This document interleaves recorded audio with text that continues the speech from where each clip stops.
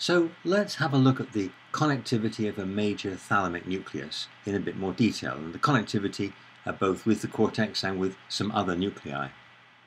As I just mentioned, the projection neurons in a major thalamic nucleus are excitatory. The neurons in the TRN are inhibitory.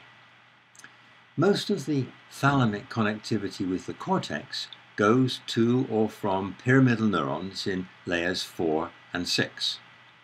The thalamocortical neurons target pyramidals in layer 4 and pyramidals in layer 6 target back to the thalamocortical neurons. So since there's a connectivity from layer 4 uh, via a couple of other layers down to layer 6, there's a positive feedback loop between the thalamic nucleus and its corresponding cortical area. Axons between the thalamus and the cortex all pass through the TRN, and these axons drop side branches onto the thalamic reticular neurons.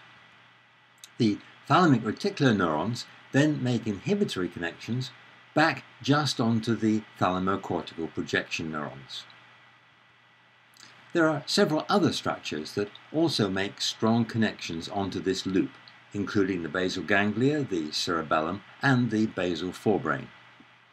The basal ganglia gets a lot of input from layer 5 of the cortex and strongly inhibits the thalamocortical projection neurons. There's also excitatory connectivity back from the midline and intralaminar nuclei of the thalamus to the basal ganglia.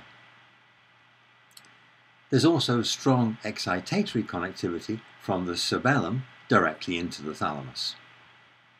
Finally, neurons in the basal forebrain target the thalamic reticular neurons, and this projection includes both excitatory and inhibitory components. So let's have a closer look at the role of the thalamic reticular neurons. As we saw, these neurons get inputs from both the cortex and the thalamus. So if there's strong activity both ways, they'll tend to be activated. They're GABAergic and target the thalamocortical neurons. However, the effect of stimulating these thalamic reticular neurons is to generate oscillations in the 40 Hz or gamma band in the corresponding cortex. For example, if neurons in the part of the TRN corresponding with the auditory cortex are stimulated, there's a burst of activity in the auditory cortex, and you can analyze this activity to determine the power present at different frequencies. And when you do that, there's a strong peak around 40 to 50 Hz, which is the gamma band in the EEG. Stimulation of the TRN corresponding with the auditory cortex doesn't produce that uh, activity in other cortices like the somatosensory cortex.